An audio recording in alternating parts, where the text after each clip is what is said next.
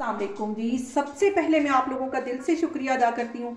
जिस तरह कमेंट्स में आप मेरी हौसला अफजाई करते हैं, मेरी रेसिपीज़ को पसंद कर रहे हैं और मुझे अप्रिशिएट कर रहे हैं। आज मैं बनाने लगी हूँ चरगा विद राइस दोनों ही चीज़ें बड़े डिफरेंट तरीके से आपके साथ शेयर करूँगी। तो चलिए इसे बनाना स्टार्ट करते हैं। चरगा विद राइस बनाने के लिए बहुत ही आसान सी, पहले इसकी मैरिनेशन बना लेंगे चरगे के लिए। तो यहाँ पे मैं चार से पाँच टेबल स्पून के करीब दही एक मिक्सिंग बाउल में डाल लूँगी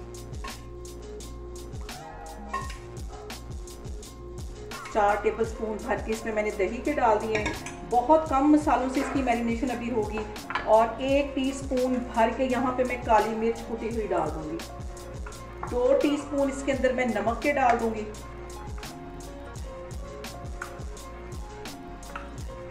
और तीन सब्ज मिर्चों का जो मैंने पेस्ट बना के रखा हुआ था, ये भी इसके अंदर चला जाएगा। एक टेबल स्पून भर के लहसुन और अदरक का पेस्ट चला जाएगा। इन सारी चीज़ों को पहले अच्छी तरह मिक्स कर लेना है। यहाँ पे मैं ले लूँगी एक साबत मुर्गा और इसके अंदर मैंने सारे अच्छी तरह कट्स लगवा लिए दोनों साइडों पे और इसको अच्छी तरह मैरिनेट कर लेना। हाथों की मदद से अच्छी तरह इसके कट्स के अंदर सारा दही जाना चाहिए।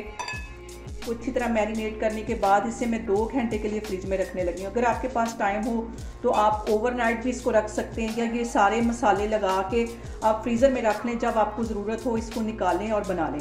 अभी इसके अंदर और भी मसाले जाएँगे, और भी इसकी मैरिनेशन है। तो अभी मैं इसको फ्रीज़र में रखने लगी हूँ तो फिर मैं आपको दिखाती हूँ। यहाँ पे देखें जी, अच्छी सी मैरिनेशन करके मैंने मुर्गे को तो दिया है सुला दो घंटे के लिए ये सोया रहेगा, बाकी की मैरिनेशन इसकी तैयार करते हैं तो फिर मैं आपको दिखाती हूँ। यहाँ पे जो चरगे की अगली मैरिनेशन होगी, उसके अंदर मैंने एक टेबल स्पून भर के सूखे धनिए का ले लिया है, पाँच से छः ये साबुत रेड वाली गोल मिर्चें। एक टेबल स्पून यहाँ पे मैंने ज़ीरे का ले लिया, चार पाँच यहाँ पे लौंग है और तीन सब्ज़ इलायचियाँ हैं। इनको मैं हल्का सा पहले रोस्ट कर लूँगी ताकि इसमें से अच्छा सा अरोमा निकले, इन मसालों की खुशबू आए तो फिर मैं आपको दिखाती हूँ। अब इन सारे मसालों को दो मिनट के लिए हल्का सा हम टोस्ट करेंगे। मसालों को यहाँ पे जलने नहीं देना, हल्की आग पे इसको टोस्ट कर लेना है। और दो मिनट के लिए करूँगी मैं इसको, उसके बाद इसको अच्छी तरह पाउडर इसका बना लूँगी, फिर मैं आपको दिखाती हूँ। यहाँ पे देखें जी, सारी चीज़ों को मैंने अच्छी तरह पीस लिया है। अब इसको मैं एक ग्राइंडर में डालती हूँ इस मसाले को भी। और इस पिसे हुए मसाले को ग्राइंडर में डालने के बाद यहाँ पे मैंने एक प्याज ले लिया, छोटे से साइज़ का। ये प्याज था, ये चला जाएगा। और एक टमाटर ले लिए, इसे भी दरमियान में इसके दो हिस्से कर लिए। और इसके साथ ही दो तीन मैं यहाँ पे लेमन इसके अंदर निचोड़ दूँगी। और इसको अच्छी तरह ग्राइंड कर लेना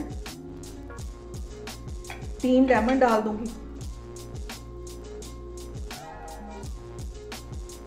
यहाँ पे देखें जी, इन सारी चीज़ों को मैंने अच्छी तरह पीस लिया एक इसकी पेस्ट बन गई है, इसको भी एक साइड पे रखती हूँ तो फिर मैं आगे आपको दिखाती हूँ। यहाँ पे देखें जी मैरिनेट करके रखे हुए मुर्गे को मुझे तकरीबन दो से ढाई घंटे हो गए अब इसको मैं करूँगी फ्राई और ये डी शेप ना हो, इसके लिए मैंने यहाँ पे इसकी टांगों को धागा बाँध दिया अच्छी तरह। अब इसको फ्राई करती हूँ, फिर मैं आपको दिखाती हूँ। ऑयल यहाँ पे गर्म हो चुका है, इसके अंदर मैं ये चिकन डाल देती हूँ और इसको हल्का सा गोल्डन कलर देना है।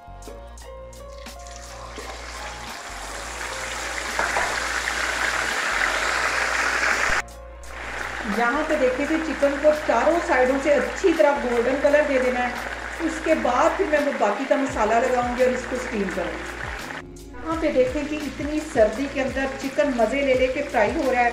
और सबसे जो अहम बात वो ये कि आपने मेरी रेसिपीज़ बनाते वक्त घबराना नहीं है, बिना स्किप किए हुए आप मेरी वीडियोस देखें। और अगर अभी तक आपने मेरे चैनल को सब्सक्राइब नहीं किया तो प्लीज़ उसको सब्सक्राइब करें। यहाँ पे देखें जी चारों साइडों से मैंने अच्छी तरह चिकन को फ्राई कर लिया अंदर तक इसको मैंने ऑयल डाल डाल के फ्राई किया है। और अब इसको मैं चूल्हा यहाँ पे बंद करूँगी। जो बाकी की मैरिनेशन लगा के रखी हुई थी, वो अब इस पर मैं लगाती हूँ।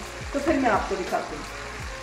इसको चम्मच की मदद से ये देखें, मैं ऐसे ऑयल डालती जा रही हूँ ताकि अच्छी तरह अंदर तक ये हमारा जो चिकन है, वो पक जाए। यहाँ पे देखें जी ऑयल के अंदर से मैंने चिकन को निकाल लिया है। अब ये मैरिनेशन मैं इसके ऊपर लगाती हूँ। और अब यहाँ पे मैं हाथों की मदद से सारी मैरिनेशन अच्छी तरह इसके ऊपर लगा दूँगी, जो मैंने बना के रखी हुई थी। हर जगह पे अच्छी तरह कट्स के अंदर, हर जगह अच्छी तरह लगाना। ताकि मज़ेदार सा फ्लेवर इसका आए। पे देखें जी, मैंने तैयार कर लिया अपना स्टीमर दो ग्लास मैंने पानी के डाल दिए, उसके अंदर एक मैंने ये जाली वाला स्टैंड रख दिया और उसके ऊपर मैं बटर पेपर रख के, इसके ऊपर चिकन को रख के, ऊपर से एक और बटर पेपर इसके ऊपर रख दूँ। अच्छी तरह इसको कवर कर देना है। दूसरा बटर पेपर भी इसके ऊपर रख लूँगी और इसको अच्छी तरह कवर कर देना है। यहाँ पे देखें जी मैंने स्टीम करने के लिए चिकन को रख दिया है। तकरीबन इसको मैं 35 से 40 मिनट के लिए बिल्कुल दम वाली आग पे रख दूँगी। इसको मैं एक साइड पे रखती हूँ और अब मैं चावल बनाती हूँ तो फिर मैं आपको दिखाती हूँ।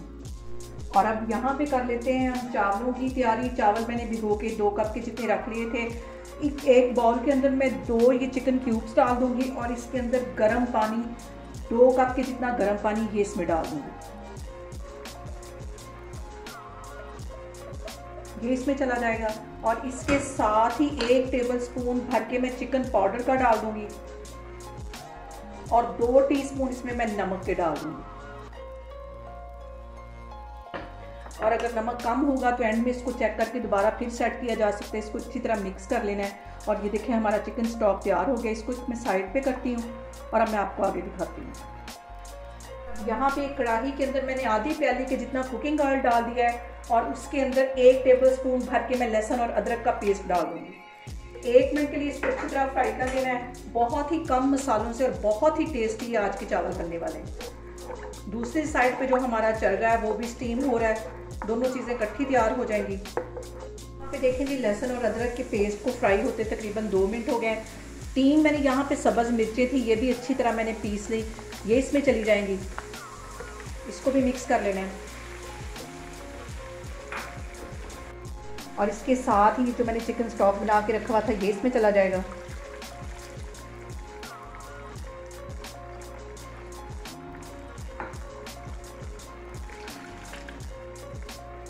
इसके साथ ही एक चुटकी के जितना यहाँ पे मैं चाइनीज़ सॉल्ट डाल दूँगी।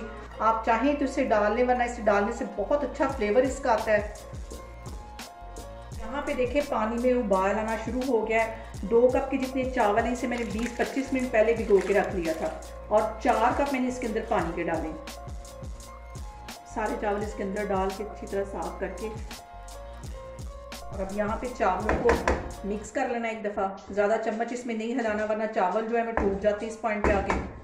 यहाँ पे चावलों को मैं कवर कर दूँगी दो तीन मिनट के लिए, जब तक कि पानी में अच्छा सा बॉयल नहीं आ जाता तो फिर मैं आपको दिखाती हूँ। यहाँ पे देखें जी, पानी में बॉयल आना शुरू हो गया है और जब तक ये पानी इसका अच्छी तरह ड्राई नहीं हो जाता है इसको दम पे नहीं रखना। अब यहाँ पे मैं पानी के ड्राई होने का वेट करती हूँ तो फिर मैं आपको दिखाती हूँ। और इस पॉइंट पे आपने लाजमी नमक चेक करना है, क्योंकि जब हम चावल बनाते हैं और ये पानी में डालते हैं, वो फूलते हैं तो जो नमक है वो कम हो जाता है। इस पॉइंट पे जो नमक है, वो तेज़ होना चाहिए, थोड़ा सा।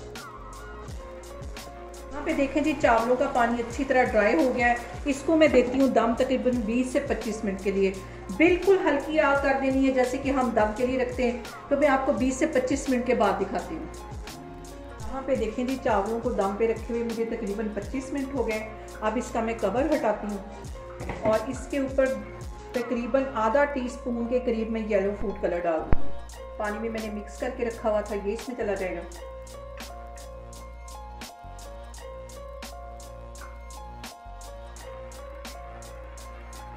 इसके साथ ही थोड़े से ये काजू रोस्टेड ये मैं इसके ऊपर डाल दूँगी और थोड़ी सी किशमिश डाल दूँगी इन सारी चीज़ों को डाल के तीन चार मिनट के लिए मैं मज़ीद इसको कवर कर दूँगी तो फिर मैं आपको तीन चार मिनट के बाद दिखाती हूँ। यहाँ पे देखें जी, चावलों को दोबारा कवर करके रखे हुए मुझे तकरीबन पाँच मिनट हो गए, अब मैं इसका कवर हटाती हूँ और इसको अच्छी तरह मिक्स कर लेती हूँ। बहुत ही मज़े के, बहुत ही टेस्टी ये चावल बनते हैं। इसको मैं डिश आउट करती हूँ और अपना जो चरगा है उसको भी निकालती हूँ। दूसरी साइड पे देखें जी, हमारा चरगा भी तैयार हो गया है। इसको तकरीबन 35 से 40 मिनट हो गए आप लोगों को मैं निकालूँगी एक प्लेटर के अंदर। बहुत ही टेस्टी बहुत ही इजी तरीके से ये देखें, चावल बन के ये हमारे तैयार हुए। एक एक इसका दाना अलग अलग है, बहुत टेस्टी बनते हैं।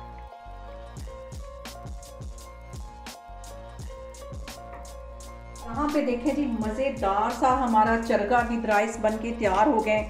बहुत टेस्टी, बहुत डिफरेंट तरीके से मैंने आपके साथ इसकी रेसिपी शेयर की है।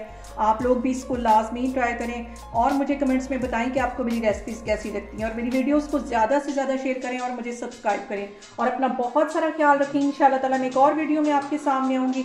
अल्लाह हाफिज़।